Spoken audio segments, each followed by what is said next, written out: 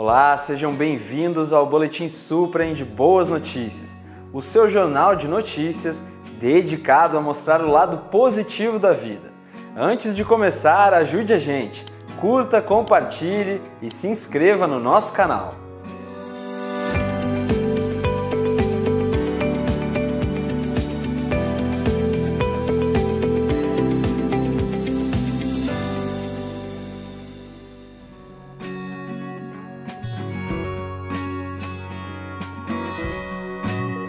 Nossa talentosa skatista Raíssa Leal, de apenas 16 anos, está concorrendo pela terceira vez ao Prêmio Laurels de Melhor Atleta de Esportes de Ação. Essa jovem campeã que já nos impressionou com a medalha de prata nas Olimpíadas é um exemplo de força, perseverança e paixão pelo esporte. Março, mês da mulher. Um momento para celebrar as conquistas femininas e a força delas para superar obstáculos. No esporte, essa força se manifesta de diversas maneiras, como na trajetória inspiradora da skatista Raíssa Leal. Aos 16 anos, Raíssa acumula títulos: campeã mundial de skate street em 2023, medalhista de prata em Tóquio 2020 e campeã dos Jogos Pan-Americanos em 2023. Agora, ela está próxima de ganhar o próximo grande título, o Prêmio Laurels, considerado o Oscar do esporte. Raíssa foi indicada pela terceira vez e está concorrendo na categoria Atleta de Ação do Ano. Sua história serve de exemplo para que outras meninas e mulheres sigam seus sonhos e busquem o seu espaço. E aqui no Distrito Federal, nós encontramos outras mulheres que também estão quebrando barreiras no skate. Thaís é uma das skatistas que representam essa nova geração. Ela começou a andar de skate aos 6 anos, depois que seu irmão ganhou um skate de presente e ela uma boneca. Dali em diante, ela teve a certeza de que o esporte havia entrado na sua vida. Eu achei muito legal e fiquei ali na casa da minha avó andando de joelho no skate, só que eu nunca mais larguei. Então já tem mais de 10 anos que eu ando. Eu levo o esporte como hobby, então eu trabalho com outras coisas, mas o skate me acompanha em todas as faixas etárias da minha vida. Eu acredito que vai continuar sendo assim. A Jai também é uma das representantes do skate no DF. Ela é portadora de deficiência física e viu no skate uma oportunidade para superar os desafios e desenvolver a autoestima. É com a ajuda das outras skatistas que Jai busca superação a cada dia. Primeiro que não é muito fácil fazer tudo sozinha, né? Você precisa de uma mãozinha ali, apesar de sempre estar querendo superar meus limites e conseguir sozinha, né? Mas o para skate está crescendo muito no Brasil atualmente. Estou conseguindo representar no Brasil inteiro, graças a Deus. A vontade própria dela de se tornar uma para-atleta já está dando frutos. Segundo a skatista, que já participou de diversos campeonatos nacionais, a exposição traz o principal objetivo de todos os atletas: ampliar o acesso ao esporte e torná-lo ainda mais democrático. Como representante do Paris Skate feminino no Brasil, venho trazendo esse questionamento, venho participando de eventos grandes como a STU, em São Paulo, em Recife, trazendo essa vitrine para o Paris Skate feminino, justamente para trazer mais mulheres para o Paris Skate, não só com deficiência, mas mulheres sem deficiência também, e homens, e quem quiser mais participar também, é muito legal. Seja por inspiração de quem quebra as barreiras do esporte ou as impostas pela sociedade, Certo é que a igualdade passa por uma questão muito simples, mas vital: o incentivo e apoio de exemplos como os que as mulheres no skate oferecem.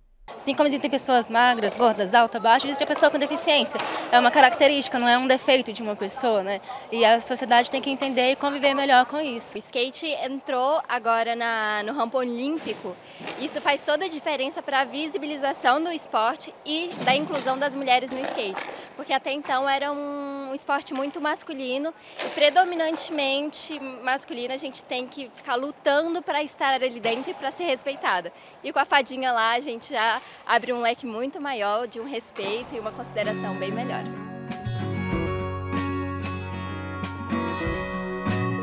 O Festival Internacional de Teatro Popular de Bonecos está de volta. A sexta edição do Bonecos de Todo Mundo trará espetáculos encantadores, shows musicais e oficinas para crianças e adultos, tudo com entrada franca. Prepare-se para se encantar com a magia do teatro de bonecos. E aí, pessoal, preparados para uma verdadeira festa cultural? Eu espero que sim, porque a sexta edição do Festival de Bonecos de Todo Mundo chegou com uma programação mega especial. Com a presença de artistas do Distrito Federal, de várias partes do Brasil e até de países da América Latina e Europa, é uma verdadeira celebração da diversidade cultural, com atrações que vão encantar crianças e adultos. Bonecos de todo mundo é um encontro né, de bonequeiros, de bonecos com o público de Brasília. Então, de todo mundo, por quê? Porque vem gente de todos os lugares do mundo, mas também de todo mundo porque é para todo mundo. E você sabe o que é melhor? A entrada é franca. Isso mesmo, diversão garantida, sem gastar nada. Ah, e não podemos esquecer da música. Vamos ter shows incríveis com artistas que valorizam a cultura popular, como Siba e Juliana Linhares. Então, já sabe, prepare-se para dançar muito. O festival está preparado para receber todo mundo, com ações de acessibilidade para pessoas com deficiência visual e auditiva. Aqui Todos são bem-vindos. Marque na agenda e convide sua galera. A sexta edição de Bonecos de Todo Mundo chegou para encher nossos corações de alegria e nossas mentes de cultura. Nos vemos lá, hein? Eita, ela falou comigo, viu? Olha, eu tenho sim, viu? Eu vou tocar hoje que eu vou fazer aqui um som com, com o Siba, viu? O Siba é um forrozeiro e eu vou ser aqui o sanfoneiro dele. Só que você precisa avisar isso pro Siba, né? Não, quando ele me ouvir, eu sei que ele vai me contratar. Quer ver?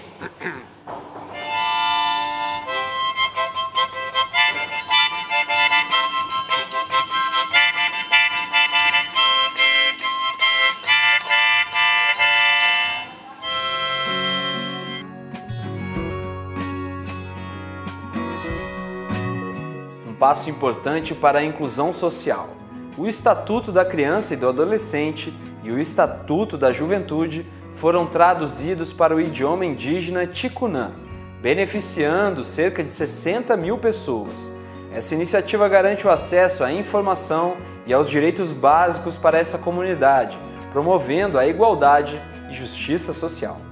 Para facilitar o acesso da população indígena aos direitos, pesquisadores e docentes da Universidade de Brasília, em parceria com a Organização dos Estados Ibero-Americanos, com o Ministério dos Direitos Humanos e da Cidadania e com a Fundação de Empreendimentos Científicos e Tecnológicos, se juntaram para realizar a tradução do Estatuto da Criança e do Adolescente ECA e o Estatuto da Juventude para o idioma indígena ticuna. O grupo buscou preservar as características socioculturais e a língua nativa desse povo. O ticuna é um dos idiomas indígenas mais falados no país e tem uma população de cerca de 60 mil pessoas em 47 aldeias localizadas em seis municípios do Alto Solimões, no Amazonas. Então, são realizadas oficinas é, com a participação de todos. Eles começaram com a tradução dos termos técnicos do estatuto.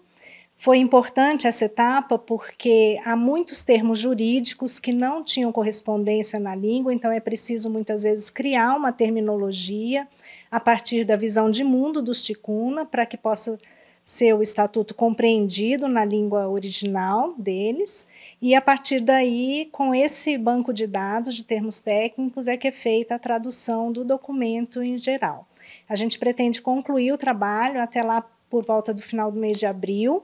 Né? Há sempre é, a gente está sujeito às questões orçamentárias, né? então a gente ainda precisa avaliar se a divulgação vai ser feita apenas pelo meio impresso, mas também é, o melhor seria que fosse feito um PDF para divulgação digital, de maneira que o documento fique acessível tanto para futuros linguistas, mas principalmente para a comunidade ticuna em suas várias é, representações. A ideia de fazer um glossário Ticuna Português Português Ticuna partiu da Secretaria da Criança e do Adolescente do Ministério dos Direitos Humanos e da Cidadania e da Organização dos Estados Ibero-Americanos para a Educação, Ciência e Cultura. A tradução é resultado do esforço de doutorandos, de mestrandos, de alunos da graduação e de integrantes dos povos originários ticuna,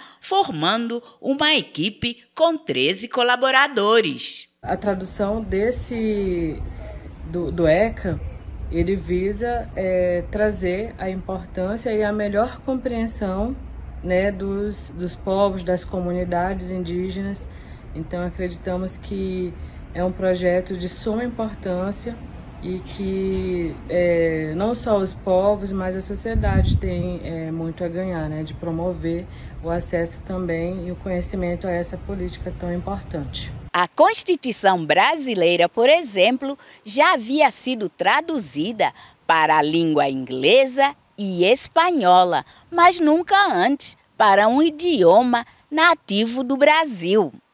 Então, em julho de 2023, o Nhengatu, conhecido como Tupi Moderno, foi escolhido para a tradução da Carta Magna para uma língua falada pelos povos originários.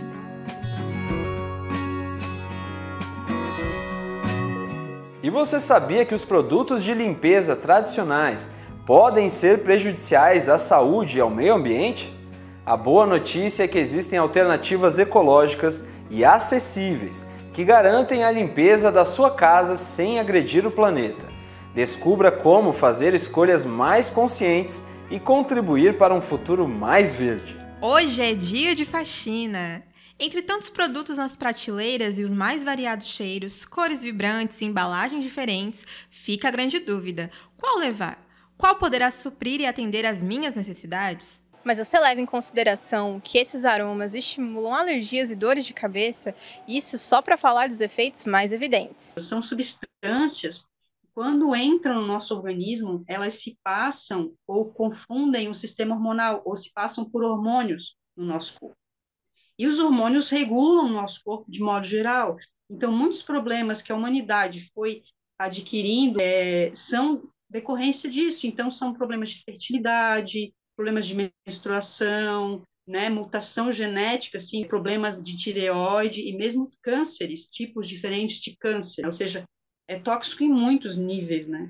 Nossa saúde e aí a saúde do planeta, porque daí compromete a água, compromete o ar, compromete o solo, todos os reinos da natureza, animal, vegetal, enfim, né? Tudo fica comprometido em nome de quê? De uma coisa que a gente chama de limpeza. O impacto já começa na extração das matérias-primas e ao longo de todo o processo de fabricação, tanto dos produtos quanto das embalagens. E durante o uso, nos intoxicamos e despejamos no ralo. Depois, descartamos os plásticos, ignorando completamente que eles permanecerão no planeta por muito mais tempo que nós todo o processo de fabricação e até chegar nas prateleiras do supermercado. A gente já tem dois problemas de cara. Metade do problema é o conteúdo do frasco, evidentemente o produto em si. E a outra metade é o próprio frasco. É nesse momento que você deve estar se perguntando: mas existe outra forma de limpar que não seja essa? E a resposta é sim. Um sabão vai funcionar, né? Como eu disse, pode ser um sabão em barra, pode ser um sabão em pó, um sabão líquido, Claro, e aí, por que que, qual que é a diferença de um produto convencional para um produto mais sustentável, mais natural, mais ecológico? A matéria-prima, né? Porque a maior parte dos sabões e detergentes de mercado tem é, base sintética, derivada de petróleo, muitos aditivos, né? Então, qual seria um sabão, por exemplo, mais sustentável? Que tivesse uma origem vegetal, como base principal, o óleo, né? Então, pode ser um sabão de coco, que seja de coco mesmo, porque a maioria dos sabões de mercado não é de coco, né? Os sabões de coco não são de coco. É, pode ser um outro óleo vegetal, mas o mais sustentável, com certeza, é um sabão feito com óleo usado, né? Porque o óleo usado, a gente precisa, para fazer o sabão, precisa de um óleo. E se eu tenho um óleo que ele seria poluente se fosse descartado no meio ambiente, eu posso transformar ele em sabão, ele deixa de ser óleo, passa a ser sabão e vai limpar e não vai ter o mesmo impacto ambiental que um óleo teria, né? Porque um litro de óleo contamina 25 mil litros de água. Esse sabão, por exemplo, eu tenho esse sabão aqui, não tenho em barra, mas eu tenho em líquido. Ó. Esse sabão aqui é o sabão que eu fiz a partir do óleo usado. Eu transformei ele em barra e depois ele em líquido. E nesse formato eu posso limpar minha casa inteira com ele, por exemplo, né? E aí para desinfetar, por exemplo, né? Se quiser desinfetar, né? Então, assim, são os mesmos processos, né? Tensoativo, abrasivo, desinfetância, só que com matérias-primas de base vegetal ou mineral, né, que não vão ter esse mesmo impacto é, que os produtos convencionais vão ter, né? É importante ter a consciência de que toda aquela espuma vai para algum lugar. Por isso, devemos sempre limpar a casa sim, mas sem sujar a nossa casa comum, que é o planeta Terra. Afinal, nossa casa é bem maior que as paredes que nos cercam.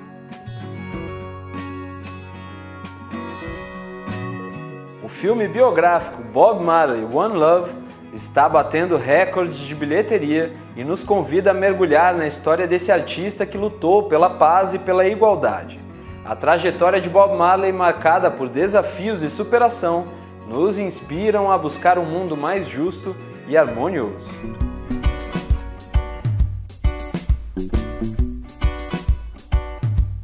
Robert Nesta Marley conhecido como Bob Marley ou ainda o pai do reggae, foi o principal responsável para que esse ritmo se espalhasse mundo afora. Se vivo, ele completaria em 6 de fevereiro 79 anos, mas quis o destino que ele voltasse para o Orum aos 36 anos, deixando-nos também propagador da filosofia afro-jamaicana Rastafari, que teve como líder principal Haile Selassie, uma figura crucial na história da Etiópia e da África no século XX.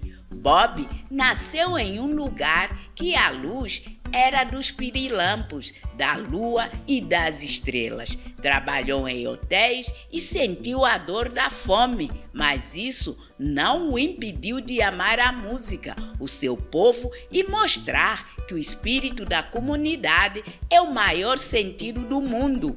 Ele respeitava todas as formas de vida, assumindo vegetarianismo e se mantendo indiferente ao consumo de bebidas alcoólicas. Um menino tímido, um homem que buscou o amor para o seu povo na Jamaica, África e em diáspora pelo mundo, trazendo a mensagem da transformação e da mudança. Bob Marley queria justiça, direitos humanos e liberdade para o seu povo. Ele foi um ícone na arte, cultura, uma missão muito além de cantar. Uma posição de líder, porque o povo jamaicano é, se compreendia na representação daquele ídolo. Então eu acho que ele começa a perceber o tamanho que ele tem e entender que a tarefa dele também era ajudar a construir um diálogo entre os grupos opositores politicamente, construir a paz contribuir para promover equidade de direitos. Reconhecido mundialmente como uma das maiores vozes a se levantar em defesa do povo pobre e oprimido, foi eleito pela revista Rolling Stone em 2004 como o 11º maior artista musical de todos os tempos, sendo considerado um dos maiores defensores da paz, da liberdade e da igualdade social e de direitos. Bob Marley vendeu mais de 75 milhões de discos e em 1978 Três anos antes de sua morte, foi condecorado pela ONU com a Medalha da Paz do Terceiro Mundo. Bob Marley, a música dele é a materialização simplesmente disso. Então é natural eu ver Bob Marley falar a partir do reggae, da emancipação, da luta contra a opressão, contra o racismo e ter tomado essa postura no momento de conflito, de ápice de conflito na Jamaica, que foi na década é, de 70, de fazer uma, um evento para unir os candidatos que estavam em disputa, unir o país e, em razão disso, ser reconhecido internacionalmente pela ONU e receber a medalha da paz. Em tempos de uma democracia descomprometida, Bob Marley, junto com sua banda The Wailers, buscaram mecanismos para fortalecer e unir seu povo, mostrando a importância do amor, respeitando seu país e seu chão. Tendo o ritmo revolucionário reggae, fruto de culturas negro-caribenhas insurgentes e que deu origem a outros ritmos, como o jazz, o rap ritmo e poesia, um cajado de paz na música que fala de mim para nós que somos todos os mesmos. Desse modo, ele é revolucionário, primeiramente na origem, no porquê da existência do reggae, uma forma daquelas populações locais que não necessariamente na Jamaica, mas as populações negras das ilhas caribenhas encontraram para fazer a sua manifestação política também, mas uma manifestação espiritual, porque o reggae é espiritual e o espiritual não deixa de ser político, e dessa forma, juntando todo esse caldeirão das influências culturais locais, ele chega nesse movimento não só músico revolucionário, mas também estético local. Um homem comprometido com o enfrentamento por equidade, justiça e liberdade, compreendendo o seu lugar no mundo e a sua ancestralidade. Mais um Boletim Suprem de Boas Notícias acaba por aqui. Aqui na TV Suprem nós acreditamos que cada história positiva, por menor que seja, tem o poder de contagiar e inspirar.